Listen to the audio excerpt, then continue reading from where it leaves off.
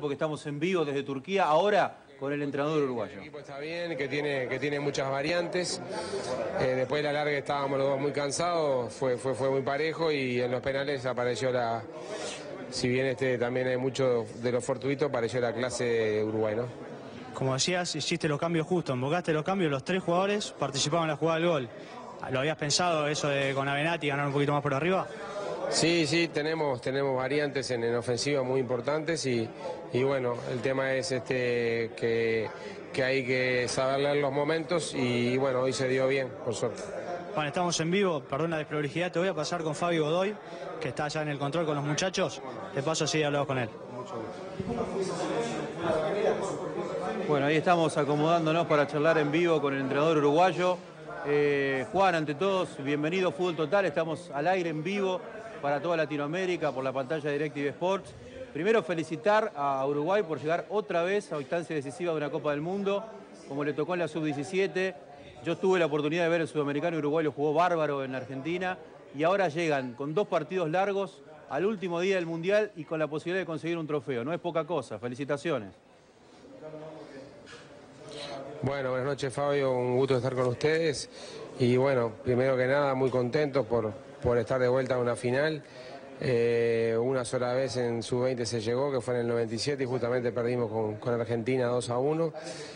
Y bueno, ahora hay que, disfrutarlo esto muy cortito porque el partido es el sábado, quedan muy pocos días y, y tenemos enfrente un rival muy potente, sobre todo en lo, en lo físico y también en lo futbolístico, así que va a haber que recuperar muy bien y también pienso que, acá es donde empieza a jugar el plantel, como jugó hoy, los que están esperando, que han trabajado este, con mucha, con mucha este, con mucho deseo de que llegue el momento de poder jugar, algunos tuvieron que esperar, algunos todavía no debutaron, pero eso es un grupo y, creo que lo importante es que tenemos muchas variantes.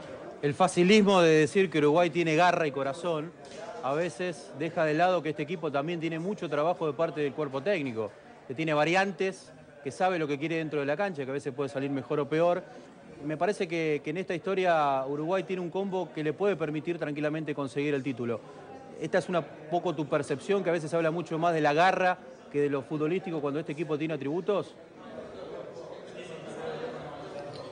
Sí, la garra creo que es un elemento importante en lo, psicoemocional, digo, el tema del rendimiento del futbolista y de un equipo es multifactorial, pasa por muchas cosas, pero la cabeza es fundamental y la cabeza tiene que estar alimentada por, por otra cosa, que es más lo espiritual, lo emocional, lo que sentís, lo que te lleva a sacar fuerzas de, lugares que, que, son, como te digo, espirituales y, que a veces es hasta un poco ilógico, ¿no? Eso creo que el jugador uruguayo lo siente y, y por eso es tan querido y tan buscado en, todo el mundo, que hay jugadores uruguayos en, en, todo el planeta, a pesar de ser un país tan chico, con tan pocos habitantes. Pero obviamente que hay que agregarle juego, nosotros este, buscamos mucho en el trabajo, obviamente que, tener solidez defensiva, pero pero tener muchas variantes este, ofensivas. Hemos mejorado mucho en este mundial el tema de la posesión de la pelota, hemos estado parejo con, con todos los equipos, en algunos hemos estado un poco por encima. Eh, lo mismo que, que, lo que marcan los, números fríos, ¿no? el hecho de, de, del dominio territorial o la llegada al arco.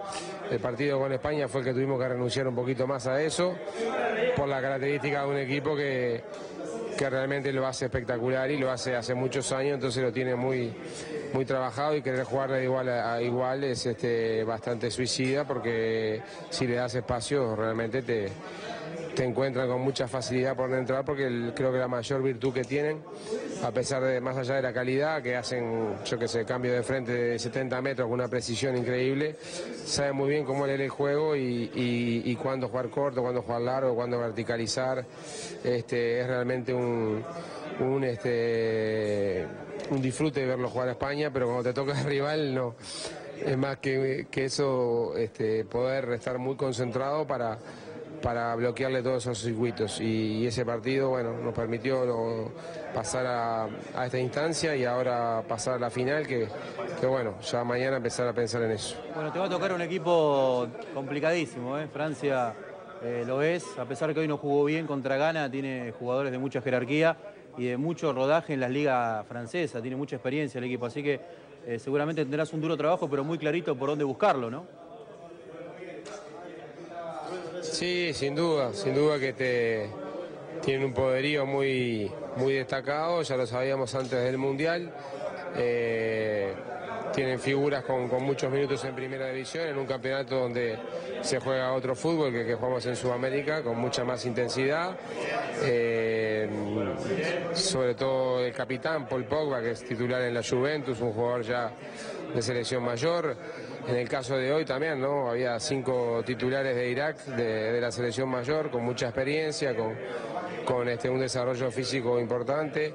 Y bueno, todo eso lo está, lo está el equipo de alguna manera tratando de empardar con, con, con las dos cosas, ¿no? Con, con garra y con calidad. Gracias, eh. Gracias por parar, gracias. Con Francia, porque de otra manera no. Exactamente, es así. Gracias por pararnos, gracias por charlar un ratito con nosotros, eh. Saludos para, para el plantel. Dale. A las órdenes y buenas noches para todos. Bueno, ahí nos damos el gusto de charlar en vivo con el entrenador uruguayo, eh, que tiene las cosas.